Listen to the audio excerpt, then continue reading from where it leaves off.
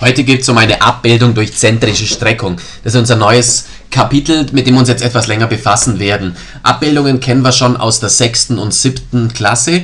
Da zum Beispiel die Achsenspiegelung, da habe ich einen Punkt an einer Achse gespiegelt oder ich habe einen Punkt um einen bestimmten Punkt gedreht um, mit einem bestimmten Winkelmaß oder ich hatte die Doppelachsenspiegelung, auch Parallelverschiebung genannt, dass ich eben einen Punkt durch einen Vektor verschiebe. Das, was ich heute habe, ist zentrische Streckung ich habe euch das jetzt mal mitgebracht. Ich habe in meinem äh, Geometrieprogramm einfach ein Bild eingefügt, ähm, habe das dazu genommen, was ich brauche, nämlich ein, ein, Streckungszentrum, das werden wir nachher erfahren, was das bedeutet, und dann habe ich einfach eine zentrische Streckung durchgeführt. Wir erkennen bereits an dieser zentrischen Streckung, um was es eigentlich geht. Nämlich, wenn ich jetzt das Bild betrachte, hier ist es eine Vergrößerung, hier wird es eine Verkleinerung, hier wird es auch kleiner und dann wieder größer, aber auf den Kopf gedreht. Das ist im Endeffekt eine zentrische Streckung. Das kommt ganz häufig bei uns im Leben vor, zum Beispiel bei Fotografien. Das hier zum Beispiel ist ja nichts anderes als eine Vergrößerung, also zentrische Streckung. Oder hier eine Verkleinerung. Gibt es auch beim Dia-Projektor zum Beispiel, wo ein kleines Bild vergrößert wird und so weiter. Da ließen sich jetzt unzählige äh, Möglichkeiten finden. Wir werden uns befassen mit der Abbildungsvorschrift, mit den Eigenschaften, mit dem Flächeninhalt, mit ähnlichen Dreiecken, mit den vier Streckensätzen und mit Einbeschreibungsaufgaben, nur damit ihr mal schon einen Überblick habt, was alles auf uns zu euch zukommt. Gerade die vier Streckensätze bekommen da eine besondere Bedeutung, die kommen auch relativ häufig in den Abschlussprüfungen dran. Also, was ihr euch fürs Erste merken könnt, bei einer zentrischen Streckung geht es eben um Vergrößerung, Verkleinerung und hier dreht sich auch was. Da werden wir später drauf kommen, was das bedeutet. Die Abbildungsvorschrift ist das erste heute. Bei einer äh, Achsenspiegelung haben wir eine Achse gebraucht und einen Punkt, den wir ähm, spiegeln. Bei einer Drehung haben wir einen Punkt braucht, ein Drehzentrum und einen Winkel, um das Ganze drehen zum, zum können. Wir brauchen bei der zentrischen Streckung einmal natürlich einen Bildpunkt. Es können natürlich auch mehrere sein. Wie ihr gerade vorhin auch gesehen habt, ich kann ja mehrere Punkte vergrößern oder verkleinern. Ich brauche ein Streckungszentrum Z und ich brauche einen sogenannten Streckungsfaktor K. Also das Z und das K sind eigentlich die neuen Sachen, was wir jetzt haben.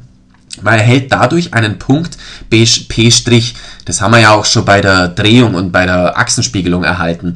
Und deswegen lautet die äh, Abbildungsvorschrift folgendermaßen: Ein Punkt P wird mit Hilfe des Streckungszentrums Z und dem Streckungsfaktor K abgebildet oder zentrisch gestreckt auf den Punkt P'. Ich will euch jetzt mal zeigen, wie das hier funktioniert. Ich habe einen Streckungsfaktor k gleich 1,5, ein Zentrum, das gezeichnet und ich habe einen Punkt P. Das sind die drei Dinge, die man braucht. Und jetzt versuche ich dadurch mal auf meinen äh, P' zu kommen. Als erstes zeichne ich diese Strecke. Ich habe jetzt hier auch schon das Ganze als Halbgerade eingezeichnet. Das ist natürlich noch besser, das werden wir später sehen, warum. Und als nächsten Schritt messe ich das Ganze. ZP ist in meinem Fall 4,9 cm. Je nachdem, wie lang ihr eure Strecke zeichnet, ist das natürlich etwas anderes. So, im zweiten Schritt kommt nun die wichtige Formel dazu. K mal die Strecke ZP, die ist in dem Fall 4,9 cm, ergibt die Strecke ZP'.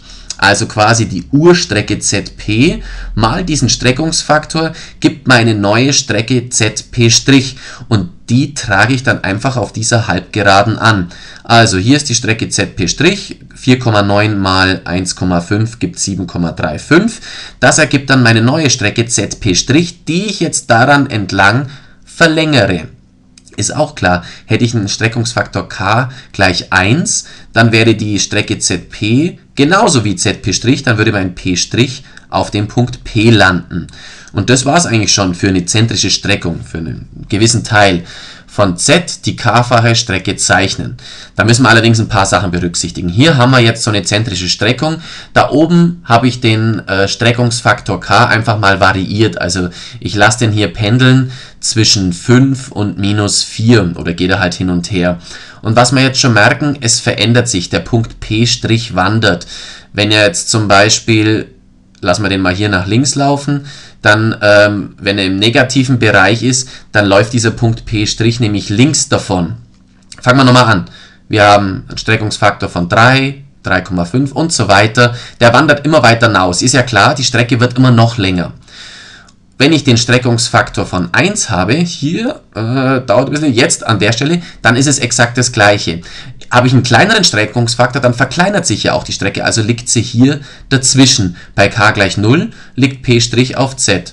Und alles, was negativ ist, da liegt dann mein p' links auf dieser Seite. Oder man könnte sagen, das Zentrum Z liegt in der Mitte. Das müssen wir nämlich auch berücksichtigen dann später bei der Zeichnung. Wenn ich einen negativen Streckungsfaktor habe, dann kann ich das nicht nach rechts hier abtragen, sondern dann muss ich es nach links abtragen.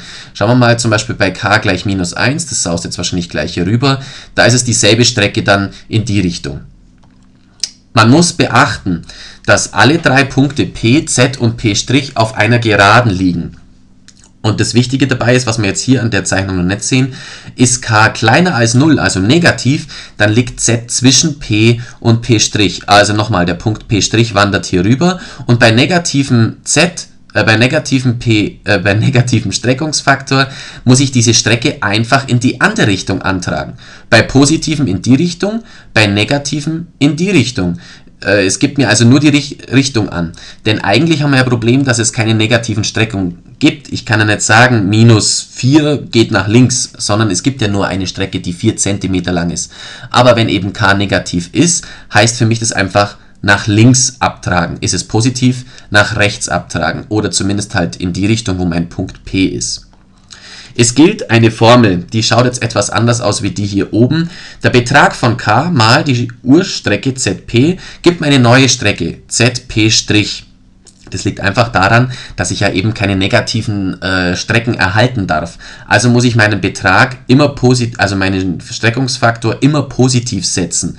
Ist mein Streckungsfaktor minus 1,5, dann ist 1,5 mal die Urstrecke die neue Bildstrecke aber ich weiß, dass er negativ liegt, also muss P' auf der anderen Seite liegen oder eben das Z zwischen P und P' ist. Das, was der Betrag ist, das haben wir mal in der siebten Klasse gelernt, heißt einfach den Wert immer positiv setzen. Das war's fürs Erste. Die Abbildungsvorschrift der zentrischen Streckung.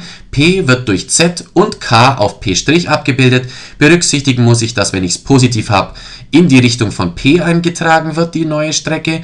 Ist der k-Faktor negativ, dann wird er in die andere Richtung abgetragen.